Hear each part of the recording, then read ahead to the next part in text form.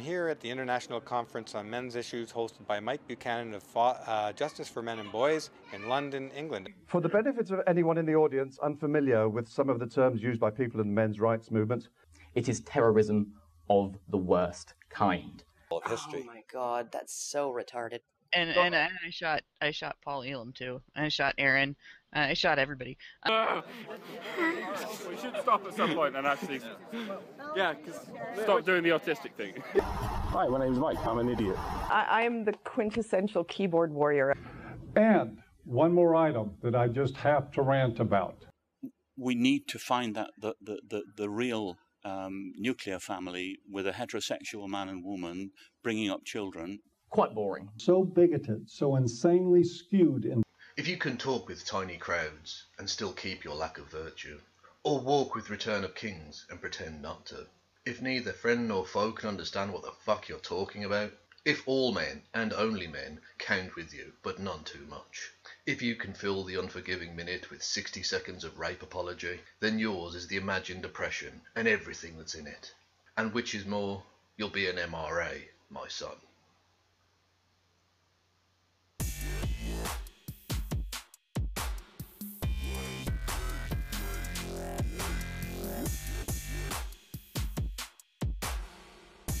Hello there, hello there, hello there, and welcome to episode 29 of The Descent of Man, O Sphere, the series where I take you through the ways in which the Manosphere and its utterly reprehensible douchebag inhabitants are trying to reverse human evolution and drag us all back into the fucking sea. And today, we're not dealing with an individual. Oh, no, no, no, no. Today, we are dealing with the absolute fucking motherload of MRA dipshittery. Yes, it's the largest gathering of evil pricks in one room since the Nuremberg trials. Yes, it's the International Conference on Men's Issues 2016. Now, the ICMI 2016 was held in London, England, uh, which is in the UK, which is in the Northern Hemisphere, in Earth, the Milky Way galaxy, yada yada yada, was held over the weekend of the 8th, 9th, and 10th of July in 2016, as the name would suggest. Which might make you think, well, Kev, why are you producing this fucking video months after it happened? Well, two main reasons. First, as I said in the very first episode of the series, I am a profoundly lazy bastard. But secondly, and more importantly, the MRM is such a disorganised fucking rabble, an absolute shower of dickheads, that they drip fed the videos of the speeches at the conference and the interviews at the conference bit by bit on the channels, firstly of Mike Buchanan, I'll get onto him later, and secondly on the channel of Paul Elam. I will also mention him later on as well, trust me. So anyway, yeah, that's why it's fucking late, okay? Just deal with it, people. But the ICMI 2016 was attended by such luminaries as the aforementioned Messrs. Buchanan and Elam. I nearly forgot their fucking names. Brilliant. Fuck it, that that takes staying in there. Bollocks to it. Um, as well as attended by YouTubers such as Dr. Randomercam and Spinosaurus Kin and Victor Zen. And the conference was even graced by the presence of two former inductees into this particular Hall of Shame in the forms of uh, Goodfella and Karen Straughan. I nearly forgot their fucking names too. This is ridiculous. And this conference was just like every other gathering, either virtual or real, of MRAs, in that there was one particular topic on everyone's lips. Feminism. Feminism. Feminist. Feminism. Feminist. Feminism. Feminists. Feminists. The feminism. Feminism. Feminist. Feminist. Feminists. Feminist. The feminist movement is a feminist, but feminists. Feminists. Feminism. Only feminists. Feminist. Feminism. Feminism. Feminism and Feminism. Yes, feminism. Of course that's what they always end up talking about. Now, whilst they did bring up other topics, things that you know their usual uh, uh, talking points and all the rest of it, there was basically a way of shoehorning in their hatred of feminism because. In the end of the day, the MRM isn't really a movement for anything. It is a movement against, a reaction against, a reactionary group against the advancements of feminism over the last, say, let's say, century, century and a half. And as ever with the MRM, the main kind of activists had to fleece their flock in order to try and get there, even though, really, they should do it on their own fucking dime, because most of them are right wing dickheads who are against sort of, you know, people cooperating, because that's socialism or whatever. Please go to the low bar of, of this hangout, uh, click on there, and throw a little something in the tip jar. Uh, for Steve. It would be very much appreciated. And I know Steve wouldn't pitch you that hard for the money, but I don't care. I will. We need to have these conferences. But we do it all on a shoestring budget. and we rely on support from generous donors. Now, given the high cost of the conference and the grassroots nature of the movement, we need your help to fund the speaker's travel and lodging. And I'm asking for your support to help me attend and document aspects of the International Conference on Men's Issues 2016.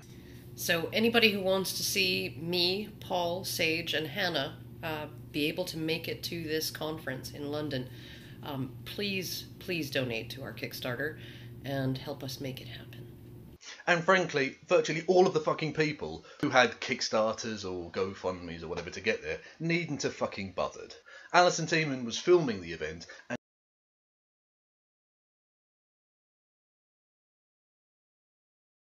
and did a really piss poor fucking job of it. The camera angles are by and large quite shit. The audio is dreadful. She was supposed to be doing like professional level stuff, and people were paid thousands of dollars to send her there, you know? So I, it was just fucking dreadful. Karen Straughan was paid for as well, or at least in part paid for, and uh, went there and rehashed an old um, speech that she'd given fucking years ago about uh, um, toxic femininity absolute fucking waste of time. But more importantly than that, a source of constant amusement for me was uh, a guy called Steve Brule, who I've taken to calling Creme. Do you get it? Creme brulee. oh, that's a good that's a good joke, isn't it, Rory cats? No, it was shit. Everyone's a fucking critic, aren't they? But anyway, Creme, and I am going to fucking use that joke, so, you know, whatever. Uh, he was uh, sent there to do uh, filming as well, but to do interviews with people outside of the actual main conference um, and speak to them sort of one on one and get a general sense of you know the, the occasion and, and document it and stuff. And he did an absolutely fucking pathetic job of it for the most part because he was constantly being trolled from the skies. And content delivery services. I apologize to the viewers again. We have a lot of airplanes going by, so we'll pause here for a moment and, and let that go by.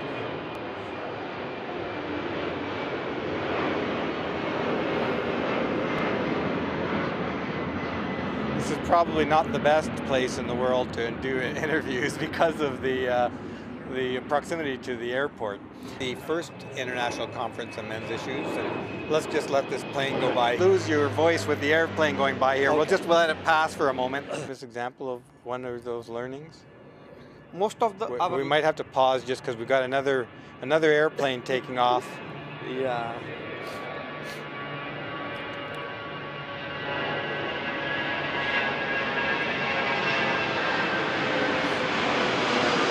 It's a big risk for a politician to criticize feminism. I, th- I think, okay? yeah. We've got another airplane going by here. We do have to pause when these airplanes go by. We might have to wait till this plane goes by because I don't think anybody's going to hear much for a second.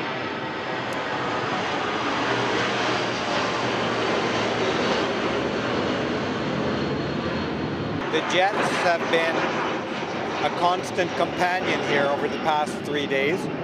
Although I must say that within the conference center and within the hotels, they're very, very, very well insulated for sound. Yes, the conference centre itself is fully aware that it is situated right next to uh, City Airport in the middle of London, right? And so it has taken steps to soundproof the inside of the building so that you can actually hold conferences there because it's a fucking conference centre. So why not do the interviews indoors?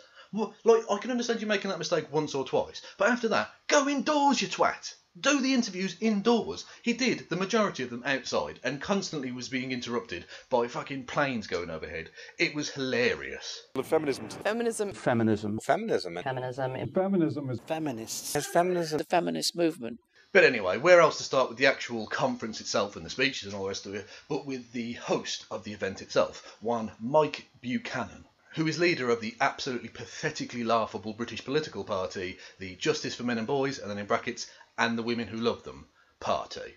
Just going to show once again that women are at best a fucking afterthought to these people. And his speech was on the political war against men and boys, which was just shit and contained the usual MRA guff. But there were two particular points that I wanted to uh, uh, show to you and explore a little bit further. The first of which is a fundamentally false premise at the heart of the MRM, and the second one is a boneheaded lack of self awareness. Um, among MPs, there'll be one name on the list of people, of MPs supporting men and boys, and that's Philip Davies. Everybody else, you know, just never, ever talks about men's issues. So no other MP apart from Phil Davies who spoke at the ICMI, which is quite worrying to have like a fucking British lawmaker there, but he's a fucking twat anyway, basically a fucking irrelevant member of Parliament. But even so, right, your claim, Mr Buchanan, is that no other MP apart from Phil Davies speaks about men's issues in Parliament. So, if that's the case, it would be very, very difficult, nay, impossible, for me to do a very, very brief uh, keyword search and the Hansard records. Hansard being the organisation which um, uh, chronicles things that are said and done in Parliament. I mean, if a fucking gnat farts in Parliament, Hansard record it. Not literally, of course. That would be very rude to the gnats. Anyway, and Hansard have an online um, record of certainly for the last I think 15 years. Basically every word that's said in Parliament they record it. So if you're right, Mike, it would be impossible for me to do a brief search of that and find tons of examples of other MPs from across the political spectrum talking about the issues that you claim to care about.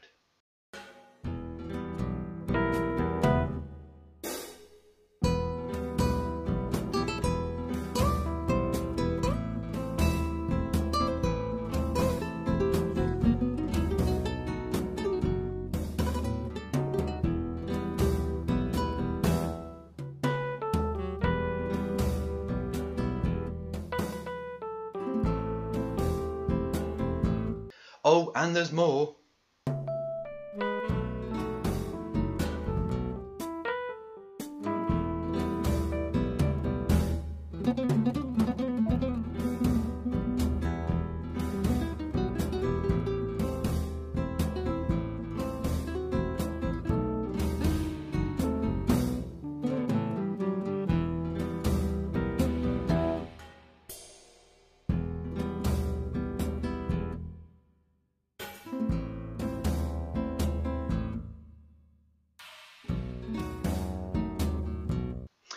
And there's still fucking more.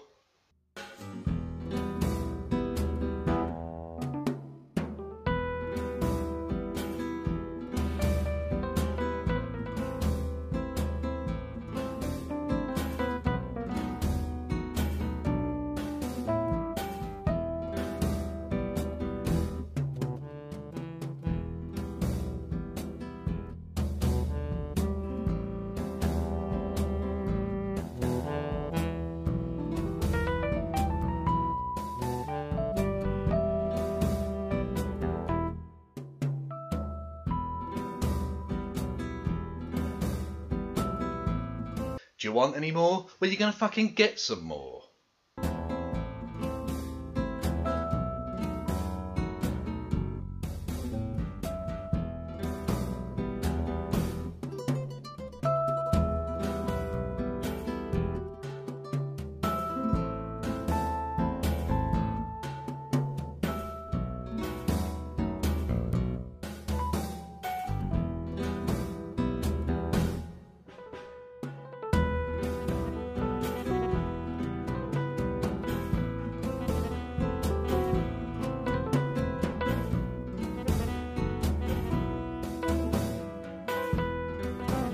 So, Mike, you're basically totally full of fucking shit because members of Parliament in both the House of Lords and the House of Commons speak about men's issues fucking regularly. You lying sack of shit. But why is it that Mike Buchanan has such a hate boner for members of Parliament?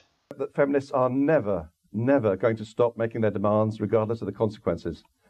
We must hold politicians to account for their craven capitulation to these damnable women's demands.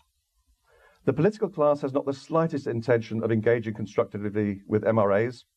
Well, I wonder, Mike, why it might be that mainstream politicians want nothing to do with your movement. Let's see if I can find some examples from just let's just pluck it out of the air a random MRA event. Let's say the International Conference on Men's Issues 2016. Totally at random there. Um, if I could find any examples of hateful shit being spewed by activists within your movement that would make you toxic to a political campaign. In the refuge, when a mother would come in and say, He did this, he made me do that. No, you did it. You chose him.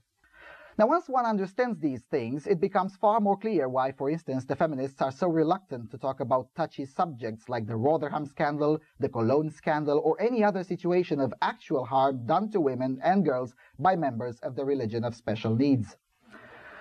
We all laughed at. now, And one of the first things women voted to do was provide themselves with alimony so that they could rely on men's resources and then started to vote for state spending so that the state effectively became their husband over time. And now they've turned the state into the father of their children. I think this is very much related to feminism, and that if you didn't have women voting to make these decisions, we would be living in a very different society. Marriage has been replaced by a legally com- uncommitted union of two equal partners, just like in the communist proletariat, in which technically illegitimate children are being born wholesale. Seneca Falls, I believe, was in 1852. It was 70 years after that uh, before the 19th Amendment was passed, another 50 after that before the gorgon of gender feminism rose its ugly head and started inflicting even more damage. There's a case to be made for literal penis envy. So if there's anyone out there who still thinks that Black Lives Matter is a peaceful, effective human rights project, but the men's rights movement is a hate group, you are worthless, disgusting hypocrites. Um, so my question is, uh, are you expecting any more Breiviks to happen in Norway as a result of this uh, feminization? I argue that basically we live in a in a a cultural communist society now. Because of feminism? Yep. Brought about by feminism, because feminism really is cultural Marxism. No, I think in area, in area after area, the feminization of workforces uh, has been a disaster. I mean, So the stereotype about lesbians being fat and hairy is actually true. So the stereotype about lesbians being fat and hairy is actually true. Yeah, that'd be why no fucking politician worth their salt wants anything to do with you people, because you are fucking poison. You are electoral, cultural, social, and political poison. Now, having mentioned Phil Davies there, he was the Conservative Member of Parliament who spoke at the ICMI itself, right? And he got something of a backlash from his fellow Conservative members of Parliament, and quite rightly so, because one of the very few, in fact, as far as I could see, the only concrete plan that was actually um, put forward at this conference for trying to move the MRM forward in any way whatsoever was Mike Buchanan's uh, suggestion that the next general election here in Britain, the I think 20 most marginal seats in the country, um, are going to be contested by uh, Justice for Men and Boys and Will Women Who Love Them in brackets. And when I say a marginal constituency, I mean ones that are held by the fewest number of votes, and so those that are most easily swingable from one party to another potentially, right? So if Mike Buchanan was able to replicate his result in the 2010 general election, where, where he got 153 votes. oh, that's fucking pathetic. But anyway. Then he could potentially swing a number of those seats and force the Conservative Party from government. In, you know, I don't think that's particularly likely, but it is definitely fucking possible.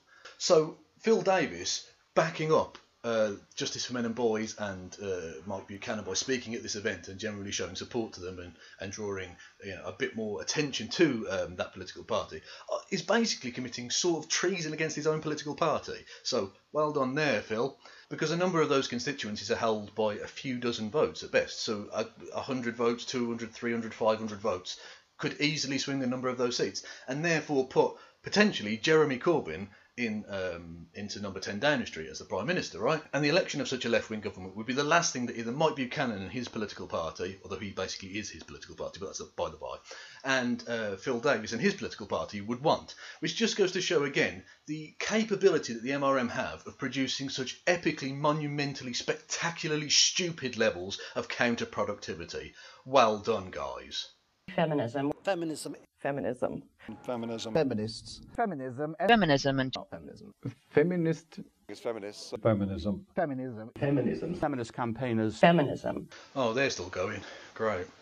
Anyway, um, a video on ICMI 2016 would not be complete without taking a look at the contribution of the rape advocate in chief, one Paul Elam, who is the founder and head scumbag over at A Voice for Men. Now, I'm going to skip the bulk of his speech because it's fucking bullshit, right? It was about this. Gynocentrism, gynocentrism, gynocentrism.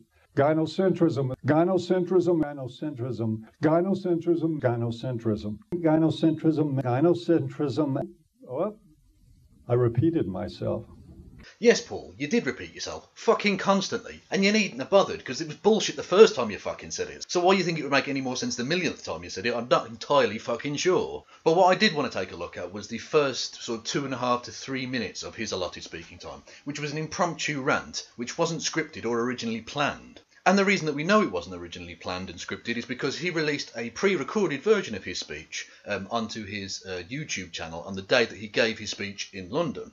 And he did this because he quite rightly feared that he wouldn't be allowed into Britain, and therefore he wanted to have that pre-recorded version so that it could be played at the conference in lieu of his appearance. Because Britain does have a record of banning people it doesn't like in terms of like um, uh, really poisonous characters like uh, shock jocks or people with um, really bad uh, criminal records or whatever. Like uh, Roosh V during his 2015 Rape-a-Palooza International Meetup fucking thing. Um, I don't think he was officially banned, but had he tried to gain entry into Britain, he probably would have been banned. And so Paul Elam, quite rightly, um, feared that he wouldn't be allowed into the country, so he released um, that pre-recorded version, which didn't have this rant at the beginning. Now, the reason I want to take you through this little ranty bit that he sort of tacked on to the front of the you know the main bit of his speech is because it's just a fucking cavalcade of hate and bullshit which was inspired by one of the people who spoke before him, one Kathy Gyngell, or Gyngell possibly, I'm not entirely sure how to pronounce that, who gave a speech that was, by all accounts, a tradcon, or traditional conservative, um, sort of view on men's rights activism, which deviates from the orthodoxy of the Paul Elam narrative, all of which was confirmed by Karen Straughan and co over at Honey Badger Radio after the event. Conservative woman, and I cannot remember her name. Oh, yeah. Oh goodness. It's Kathy Gyngell. I just told you that. I mean, it's almost like you're not even fucking listening to me, Karen. No, I was actually really happy with her presentation because it presented a different point of view and she actually got applause. She didn't get booed, even though I can imagine that she said some things that 90% of the audience vehemently disagreed with. They were Who, willing who, to who was accept- that, sorry? Uh, the, there was a. I don't think that you were there. But what what one of the things that she said that people took umbrage with was that, uh, you know, women civilize men. Oh, aye, that's aye, aye. Christine, I think her name was. Aye, I was there. I was sitting right next to Spinosaurus when she said that, and it, we- we both So just I'm looked sure- at each I'm other. sure there were so many people who were so annoyed by that. So someone disagreed with Paul Elam's point of view, which therefore sparked one of the least gracious and frankly sane speech openings ever. I have some concerns. Uh, one of the things I want to say that I'm really grateful for the diversity, not only of this audience, but of the speakers of this conference. Diversity. You want to talk about diversity, really? How many black speakers did you have at your conference, Paul? Zero. How many non-white speakers did you have? One. There was fucking one. A guy called Anil Kumar who's from India. But frankly, if it weren't for his attendance, you could pass your event off as a fucking KKK rally. It was whiter than the fucking Oscars, for Christ's sake. Different ways of thinking, different ways of approaching life. But I was left with a concern, and it's for the women in this audience. I feel you have been burdened with the responsibility for my moral character and for having a civilizing effect on me. I, I want you to know that you are all absolved of that responsibility as of now. Ah, passive aggression, the hallmark of the confident intellectual. And one more item that I just have to rant about. And please cover the ears of your children. There are 17 items on this list in front of you. It could be 70. It could be 700. There are so many issues facing men and boys today that we can scarcely count them.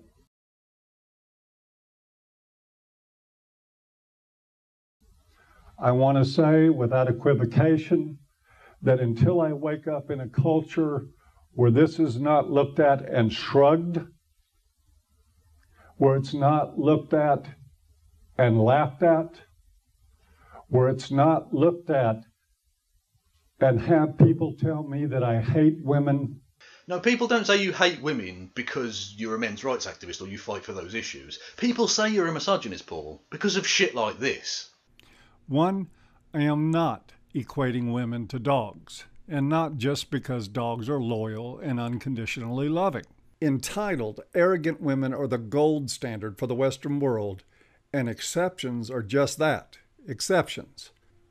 And yes, by the way, I am saying that at least 80% of women are emotional reasoners and in their raw state are unfit for intimacy, consistent communication, problem solving, or being anything other than a life sucking pain in the ass. You can get the fuck out of my house. And by the way, you can take that bitch with you because she's obviously of no use to me either.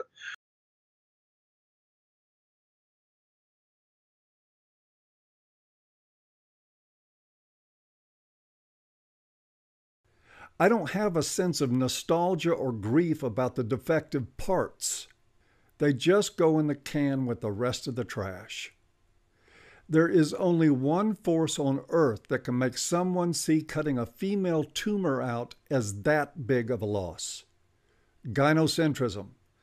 And remember, don't stick your dick in crazy. First, as I've been going on about, drop the hate and embrace reality. All you have to do, though, is accept that you are weak and dependent on men and that your worth is largely measured by the cup size.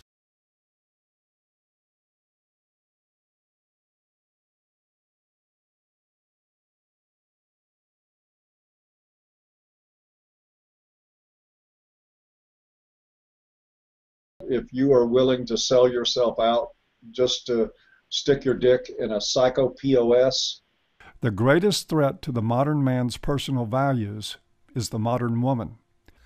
Actually, rather than be cranky, you should be thankful. If men thought with anything other than their dicks, 98% of them wouldn't give you the time of day. I mean, why would any man pay any attention to you at all were it not for the prospect of boning you? Yeah, it's that kind of shit, Paul. That kind of shit which makes you a fucking woman hater. People call you a misogynist because you're a misogynist. in order to express compassion for these problems, then I do not want to hear fuck all about how men need to be returned to their responsibilities to women.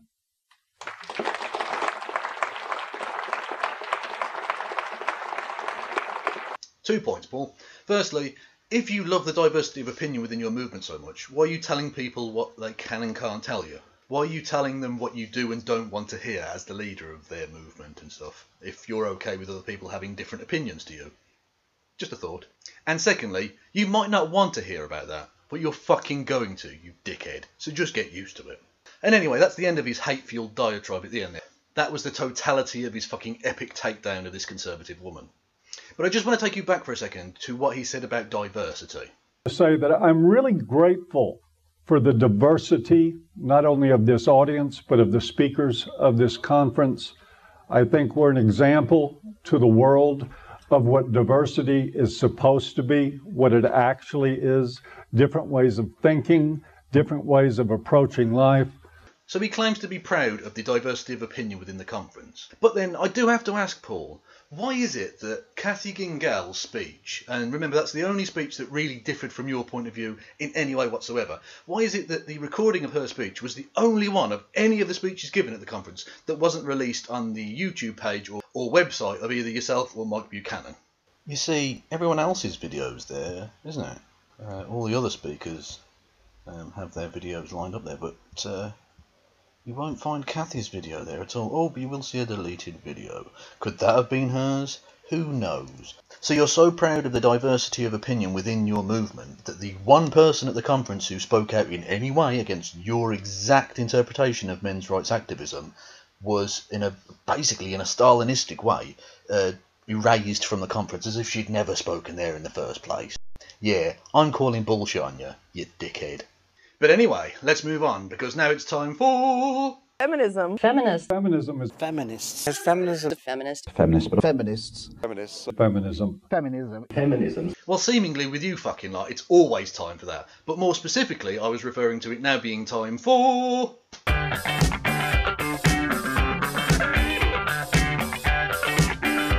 Yes, it's the inevitable bit about rape.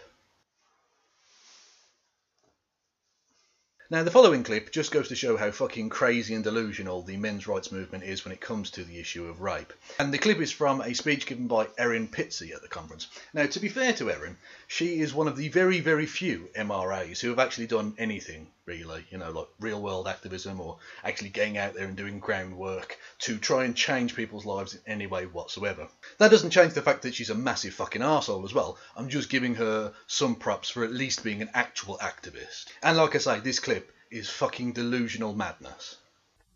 From the moment a man stands accused, he has no human rights. All allegations across the Western world made against men, the victim or the so called victim has to be believed. Right, there's two points with this, right. Firstly, your claim that men who get accused of rape have no rights whatsoever. That's fucking ridiculous. So what, like, the police are allowed to torture them, are they? The state removes their right to freedom of religion or something? Yeah? No, obviously not. So clearly they do have quite a few fucking rights. Now, if you wanted to make the argument that there are certain curtailments of certain rights that you don't like or don't think is productive or fair, that would be one point. But to assert that all rights are removed is fucking hyperbolic, scaremongering bullshit. It's that kind of hyperbolic fucking nonsense, which means it's impossible to take the MRM seriously on this topic because they have shown that they are either incapable or unwilling to discuss it seriously. So I'm not going to take you seriously. And secondly, Erin, in what fucking world do you live that you think that victims are always believed? Because that's bullshit, okay? Victims are often disbelieved. Victims have to run a fucking gauntlet of victim blaming and slut shaming and disbelief and all kinds of other rape apology. I mean, you guys should fucking know because it's often you guys doing it. You fucking odious bunch of pricks.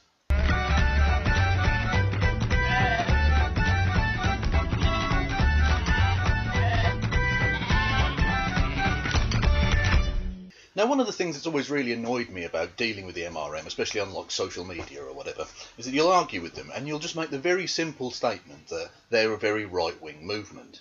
Then they'll come up with absolute fucking bullshit about how they're non-aligned and that they're, you know, uh, oh, we're not partisan, we're across the spectrum, and it's all fucking shite. I, I think that's that's very true, and it's part of the whole program of the left that if you can't depend on yourself, well, who do you depend on?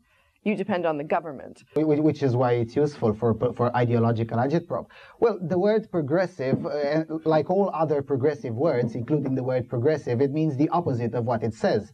Uh, progressivism is uh, more or less very close to a mental disorder.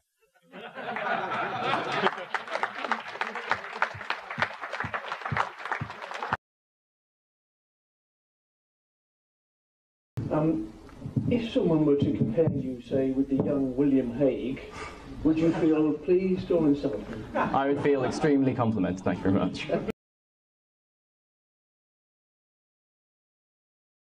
claiming that this female majority was an intended result of the gender equality policy of the government. She was a socialist, of course.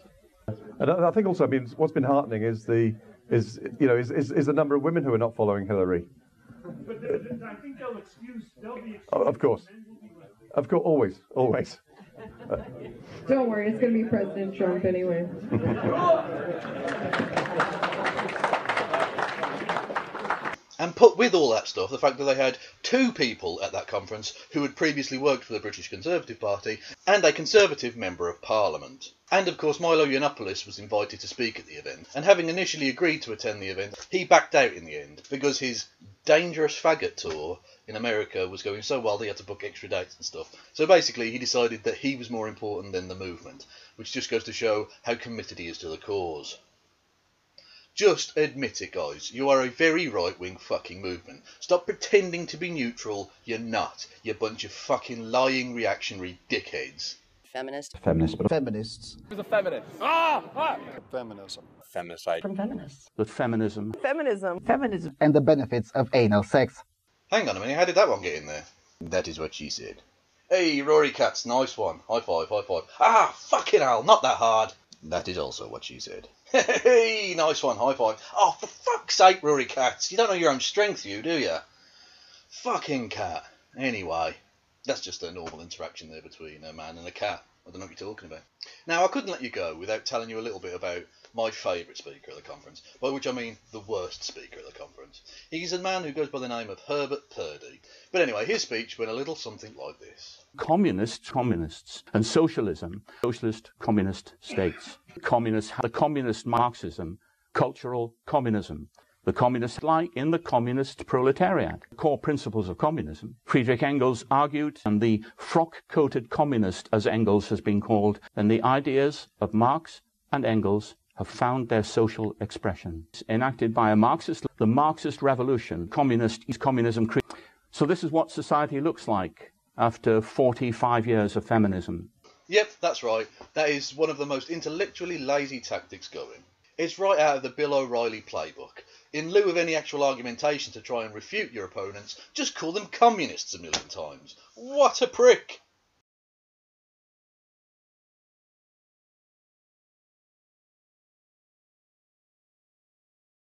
But anyway, let's wrap this shit up, shall we? Because I am fucking done with the ICMI 2016 by this point.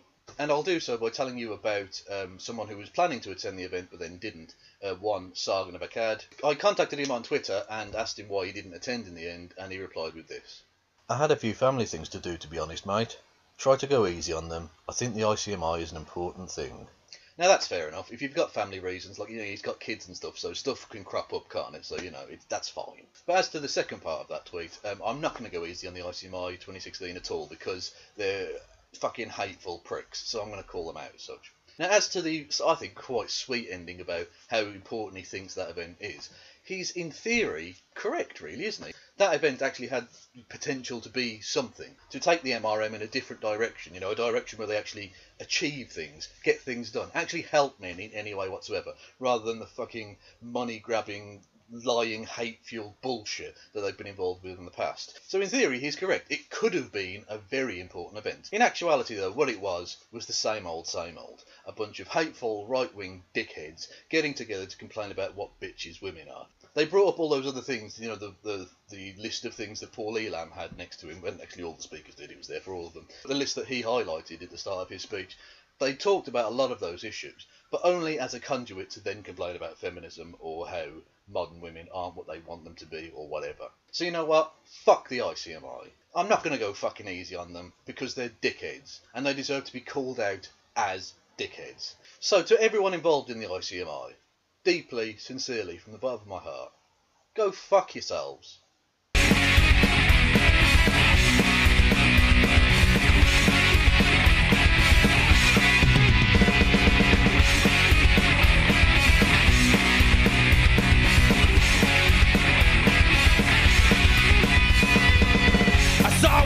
With a Chinese menu in his hand, walking through the streets of Soho in the rain. He was looking for a place called Liho Foots. Gonna get a big dish of that beef chow mein. Oh, werewolves of London.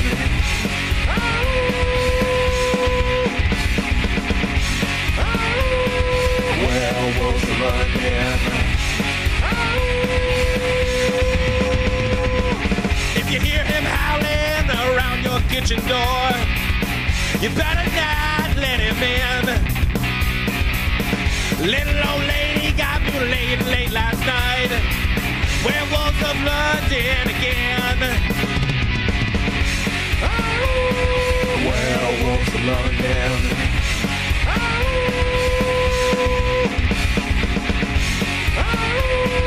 werewolves of London.